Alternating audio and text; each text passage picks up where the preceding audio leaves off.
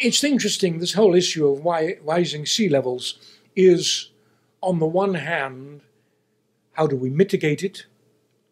On the other hand, and this is really more important, how do we live with it?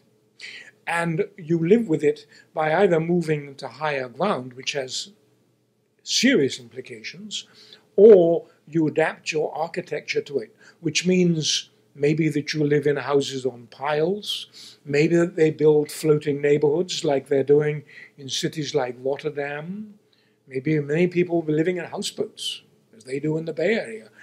There really are some options, but they're limited.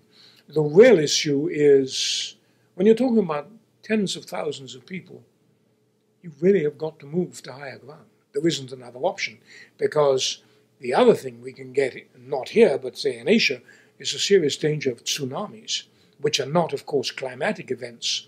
But you put all this together. Imagine a Category 5 hurricane with a sea surge coming ashore in Miami Beach. The issue isn't if it's going to happen, the issue is when it's going to happen. I've no desire to be alarmist, but realistically, the law of averages, one day it's going to happen.